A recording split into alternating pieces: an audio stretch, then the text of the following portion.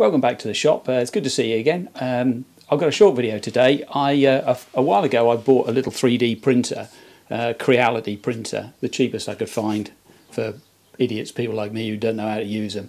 And uh, here's a good example of what I can make with it. This is a, um, a lithium battery for a, a, a, drill I bought for a for a project that's uh, having difficulties, uh, and I made this, which is a battery clip.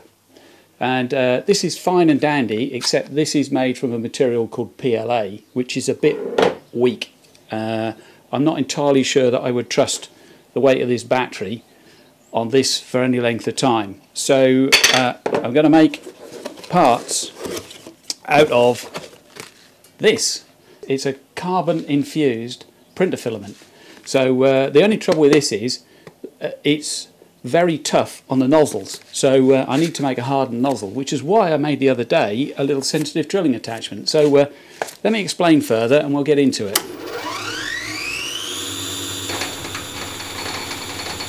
And that is the wrong stuff. Uh, the printer came with a series of uh, accessories, which is quite good. a set of nippers, which actually are quite sharp, surprisingly, and, uh, and a few tools and, and, uh, and, spares and bits and pieces. And in the spares is a spare nozzle.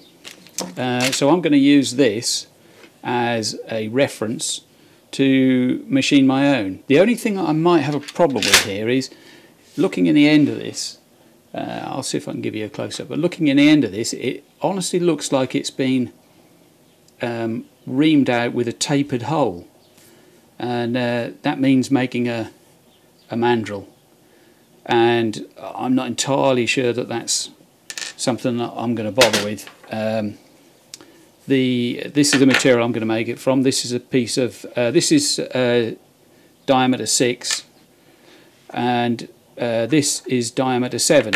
Um, drill rod, as the Americans, uh, you Americans would call it, or silver steel, as we call it here in the UK. So what I'm going to do is just make copy this make another one, maybe another two, uh, and just harden them and leaving them hard. So hopefully the printer uh, filament won't wear out too quickly um, the new nozzles. So um, the only problem is because I said it's uh, that looks that really does look like it's tapered in there. Um, it's really difficult to see. Um, I may find that uh, I'll have a, a sharp uh, what's the word? There'll, there'll be a, a, sharp conical point at the end where where it goes down to the the 0.4 millimeter hole. So uh, yeah, that might not be good, but we'll see. The only way is to try it and have a go, isn't it? So uh, let me get on and measure this, and uh, we'll take it from there. Really. After um, 10 minutes of fiddling around, uh, the the hole in the middle is not tapered. It's just um, down to a to an end, and then it goes into the the final bit, which is the uh, uh, the 0.4. It's it's between 0.35 and 0.4 mil, um, and it's really difficult to measure something that small for me, even with um, Eddie the optical comparator. Anyway, more to the point, uh, I will give you a top shot of this, and if you want the dimensions for a Creality Ender 3, I think it is, version 2 nozzle then this is your baby.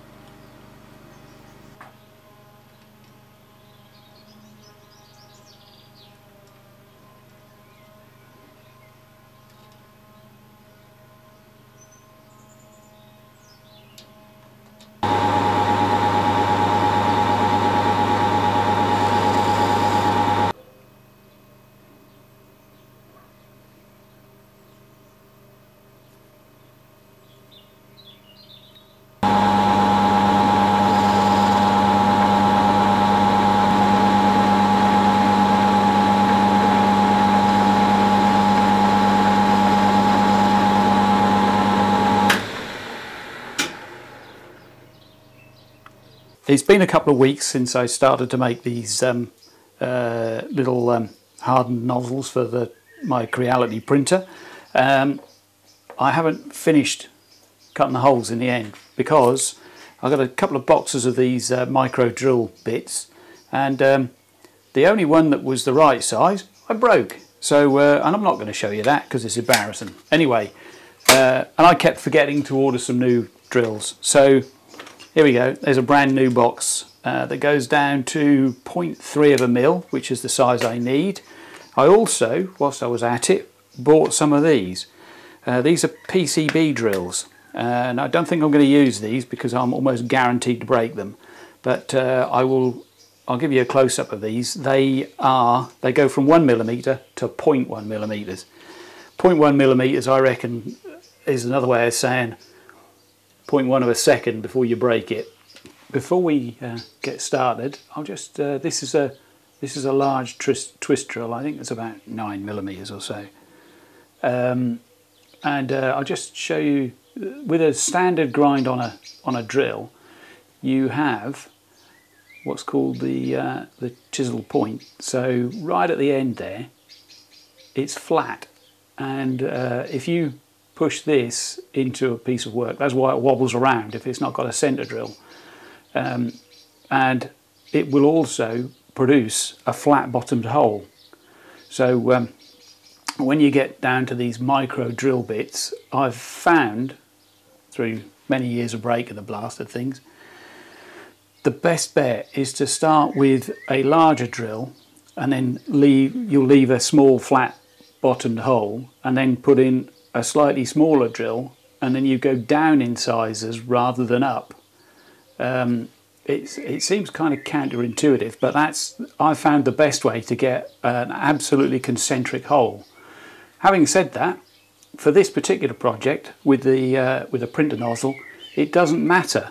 That might seem an odd thing to say, but uh, with a printer, with a 3D printer, as long as you don't change the nozzle midway through a print, it really doesn't matter. All if it if the uh, if the extruder hole is slightly off center, all that will mean is that the the print you're putting won't be exactly under the center line of the um, uh, of the nozzle. It uh, um, yeah of the body of the nozzle, it, and it really doesn't matter. Only becomes an issue if you take that nozzle out and put another one in or take that nozzle out and then refit it uh, because you'll never get it perfectly lined up. So um, the net result is if you get a bit of wobble when you're making one of these, if you choose to, in all honesty it's cheaper to buy the bloody things. If you decide to make some, because it's fun to do that, and you get your hole off centre, doesn't matter. Anyway, let's have a go.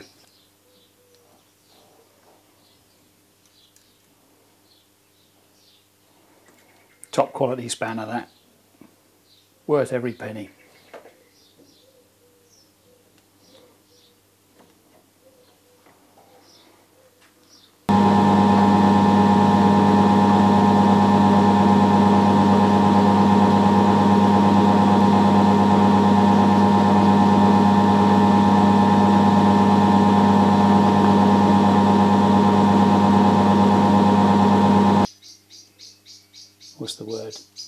I've just faced it off and re there you go you can see that the I don't know if you can see that I'll give you a really big close-up I mean it's um, the hole's not in the middle and it really doesn't matter. Anyway I'll try to do better with the others. Yeah I'll definitely try to do better with the others. That's going to be a bit squiffy that one. But this is the uh, the one that I went a bit heavy-handed with the mill so there we go. There's three nozzles, all slightly different, but heck, who cares, with uh, an original brass one. So um, all that remains is to lose that one and harden these.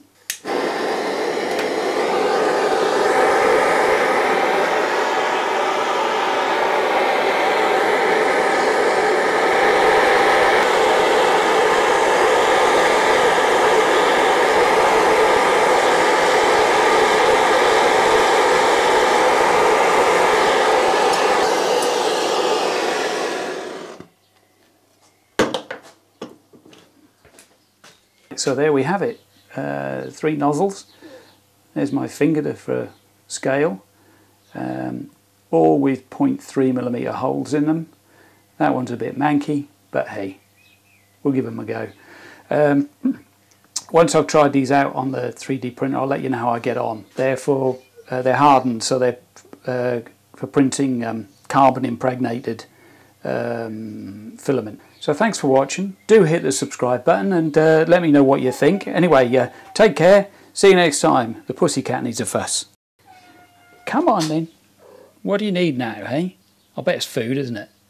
One sparrow a day is not enough, is it?